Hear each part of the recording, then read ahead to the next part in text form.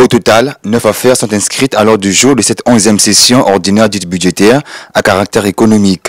Dix jours durant, les élus locaux plancheront sur une série d'affaires prévues à son ordre du jour relative à l'adoption du budget exercice 2021, donnant libre cours au fonctionnement de cette assemblée locale et à l'exécution de son programme d'investissement.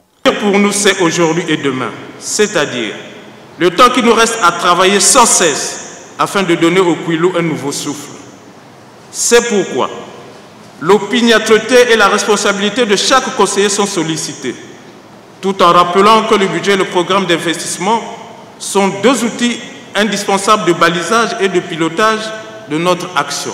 L'ouverture de cette session ordinaire du conseil départemental du Quilou s'est déroulée en présence du président du conseil, Alexandre Mabiala. Fidèle à ses engagements et constant dans sa vision sociale, le président de la République a donné de nouvelles orientations dans le domaine de la décentralisation sur ces grandes réformes et sa mise en œuvre résumée en trois points essentiels de la manière suivante. 1.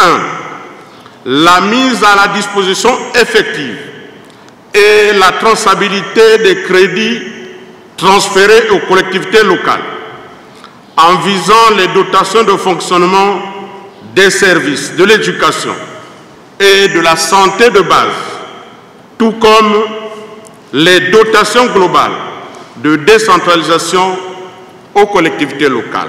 Ces travaux de la 11e session ordinaire du Conseil départemental du Quilou prendront fin le 18 février prochain.